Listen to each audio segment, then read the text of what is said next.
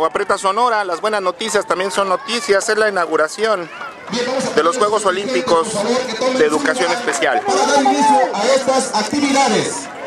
Padre de familia. Muy bonita la inauguración por con apoyo que están realizando, que están apoyando a nuestros hijos. Lleno. Están apoyando a sus alumnos. Maestros, Ajá, la disposición, las ganas de realizar estas actividades también es muy loable. Se toma en cuenta eso, el trabajo en equipo que está realizando Educación Especial para poder llevar a cabo este tipo de actividades, que es algo significativo para Vamos, nuestros vamos, alumnos vamos, vamos. con necesidades educativas especiales, con o sin discapacidad. ¿Dónde está Tito? Voy a ¿Dónde ceder los micrófonos Tito? a profesor Alfonso Caballero, Chale, quien va a realizar Tito. los hits correspondientes en cada una de las actividades deportivas. Muchísimas, muchísimas gracias. Muy bien, muy bien los niños de Educación Especial. Listos. Bienvenidos a los eventos deportivos Olimpiadas Especiales 2014. Un fuerte aplauso para todos los amigos y niñas del CAP número 6.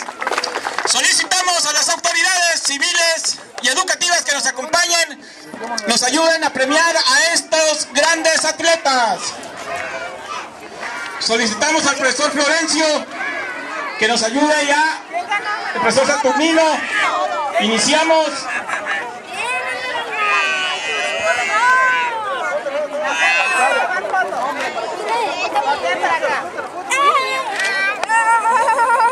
Y la niña Cruz Guadalupe. Díaz del Jardín de Niños, nueva creación, La Paloma de Luz 110. Se están preparando los atletas. Vamos La premiación la hace nuestro comisario de policía, el comandante Alfonso Novoa Novoa. A Son ver, nuestros niños especiales. que Vea qué belleza su medalla. Muy bonito, muy 128. bonito. Felicidades, felicidades. A ver, a ver ese ánimo, pues. No desayunaron. A ver, no les queda, no llegaron a los tamales de allá, Cabullona. A ver, va. ¡Se vinieron! Parece, vamos, vamos, vamos. Vamos, sígale, sígale, sígale, sígale, sígale. Arámbula, Angélica Moreno, Wendy Zelaya, Linet Rueda, María Navarro y Ailén López. Hubo un cambio ahí, Abigail. ¡Listos! ¡En sus marcas! ¡Listas! ¡Fuera! ¡Se vinieron!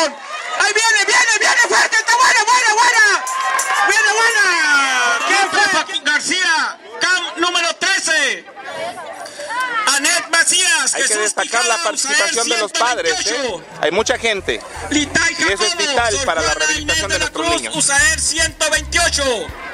Yasmín Estrada, ¡se vinieron!